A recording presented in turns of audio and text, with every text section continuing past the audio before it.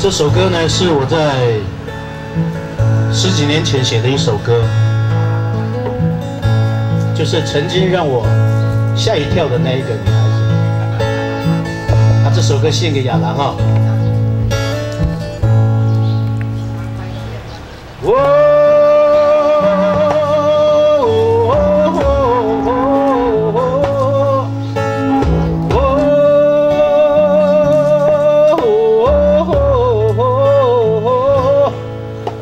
我心中，你永远。是最美的女孩，趁着梦中轻轻呼唤你，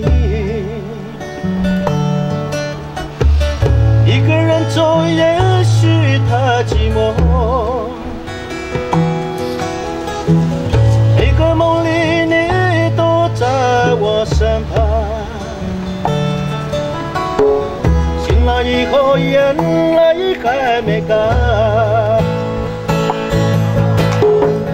我的牵挂在轻扣你的心啊，想起我俩曾经那段甜言蜜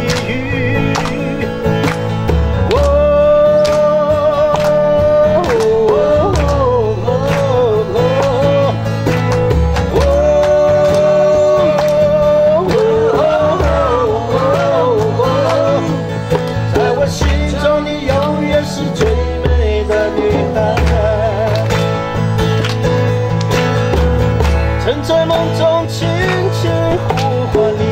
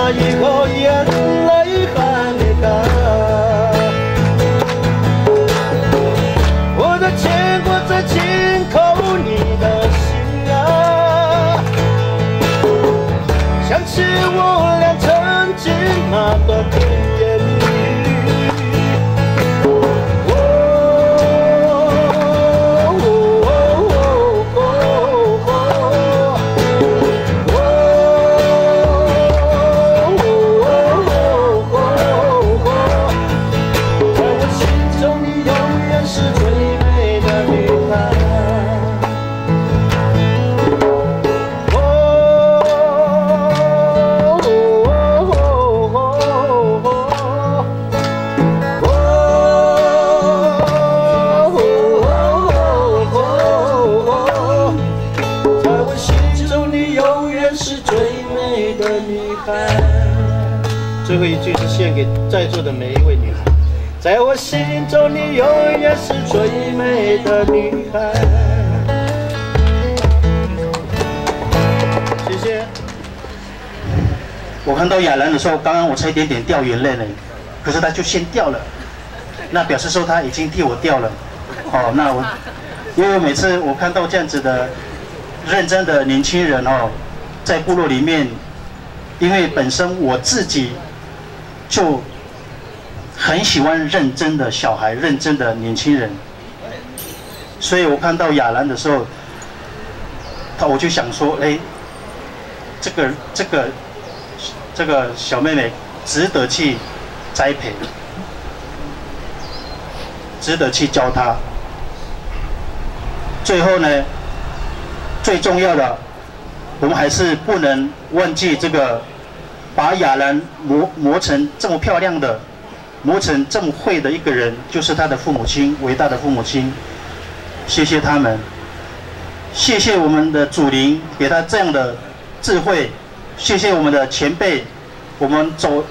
过去的前辈，他留下这么好的一些智慧，留给我们这一代，留给亚兰，让他有继续努力，继续成长。谢谢。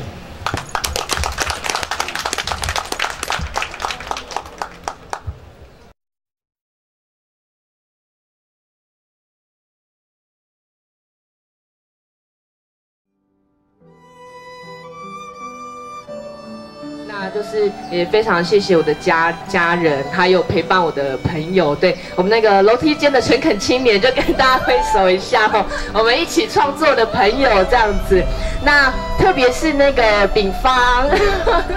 对丙方，我们当初我们两个一起在台北，我们都是一个上班族这样子，然后我们两个就是某一天在吃意大利面的时候，那时候没有位置，我们还坐在厕所前面这样，然后。我们两个在聊人生的方向，后来决定两个人要一起就是努力打拼这样，然后到现在他自己也有很好的成绩，吼，也是一个新锐的阿美族的画家这样。那他现在在台北也有自己的就是个人的工作室这样，所以我就觉得，呃，我们一起打拼到这里，彼此鼓励，因为这路很不容易啦，所以其实都大家都是一起鼓励才有办法走到现在，然后。但是，其实最辛苦的是我的爸妈了。对，那他们从小，嗯，他们不是，他们从小用他们的劳力赚钱，然后让我跟姐姐有很好的生活环境这样子。那，那当初其实在这个创作过程中，跟他们有很大的争执。我为爸妈他们其实很不能接受这样。那他们从不能接受到试着去了解，到包容，到现在支持。我觉得这一段路非常不容易，对我常常都觉得，当我的爸妈很衰，就是到了三十岁都还是这么叛逆，这样子还要一直担心我，非常的辛苦。还有谢谢我的家人们，他们一直是我一个就是支持的力量。那他们就是也是为我每次，因为我一直忙着创作，生活都没有顾好，所以他们都会一直帮我呃，就是打理我的生活这样子。对，那非常谢谢，就是各个来的艺术家前辈跟你那里部落的，就是亲朋好友们，因为我觉得在这个部落当中生活很幸福啦。因为其实真的，我一个年轻人刚来到部落当中，那刚开始创作。我发现大家都很努力、很积极的扮演一个粉丝的角色，对，让我一直感觉哦自己很像很会，然后就是很有动力往前走这样子哈，就非常谢谢就是大家的支持哦，那还要特别谢谢就是雅竹妹妹哦。前两个礼拜就是到山上去创作，我原本去山上是想要减肥啦，那结果他一直送食物给我，三不五时说，哎姐那个早餐送来了，或者啊中餐那个便当哦，一下午有蛋糕哦，然后就是一直从你那里送食物上来这样子，那非常感谢他，那他也帮我就是分担了很多工作，对，然后最后要谢谢就是我老鼠，这段日子帮我分担很多工作这样子，那在整个就是我们的。展览的一些行政作业啊，还有开幕的流程都是他规划的，这样非常感谢。那等一下就是创作部分会再跟大家就是呃导览这样子，那就是真的非常谢谢你们的参与，谢谢。